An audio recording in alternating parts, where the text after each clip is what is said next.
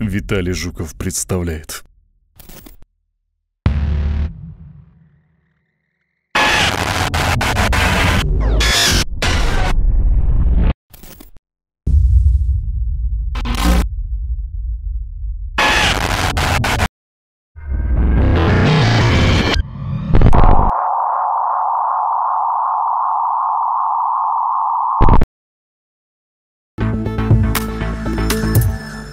На какую криптовалюту обратить внимание на этой неделе? У нас есть 6 вариантов. Visa добавит расчеты в стейблкоине USDC. Джастин Сан создал фонд для NFT искусства дороже 1 миллиона долларов. Разработчики эфириум решения второго уровня оптимизм отложили запуск основной сети. Вы на канале Виталия Жукова. Ньюсблок.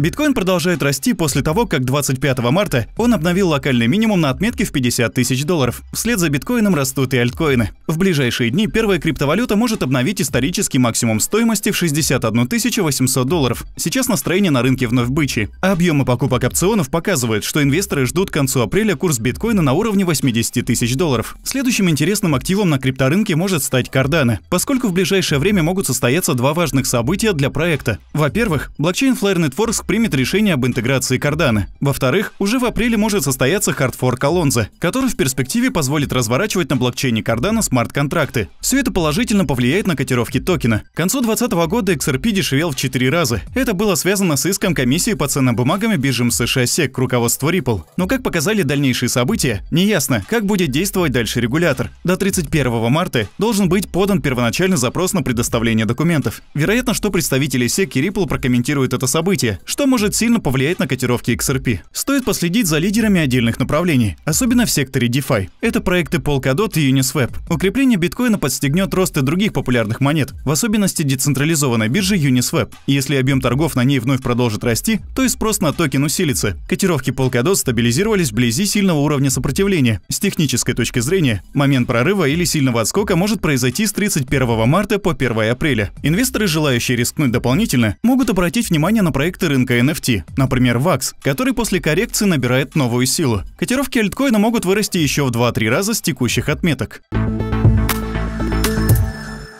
Удобная и надежная криптобиржа, на которой можно торговать криптой, это corebtc.com. Я сам пользуюсь данной биржей уже полгода и доволен ее функционалом. Быстрые выводы, высокая безопасность. Сейчас криптобиржа corebtc.com активно набирает пользователей и в честь этого запущены сразу три еженедельных конкурса. Самый большой объем торговли, самые большие депозиты и самые прибыльные сделки за неделю. Итого 90 призовых мест от 1 до 10 эфиров на каждое призовое место. Поставьте прямо сейчас видео на паузу, и я настоятельно рекомендую ознакомиться с конкурсом на сайте, ведь в них вполне реально выиграть каждому. Платежный гигант Visa и криптовалютный сервис Crypto.com запустили пилотную программу по интеграции расчетов в стейблкоине USD Coin, USDC, от консорциума Center. Об этом говорится в пресс-релизе компании. Решение работает на блокчейне Ethereum. Представители Visa отметили, что они исключили необходимость конвертировать цифровой актив Fiat для выполнения транзакции. Visa уже осуществила первую транзакцию. Crypto.com отправил USDC на Ethereum адрес платежного гиганта Encourage. Ранее компания раскрыла подробности криптовалютной стратегии, включающие в себя биткоин и другие криптовалюты, а также обеспеченные фиатом токены и стейблкоины.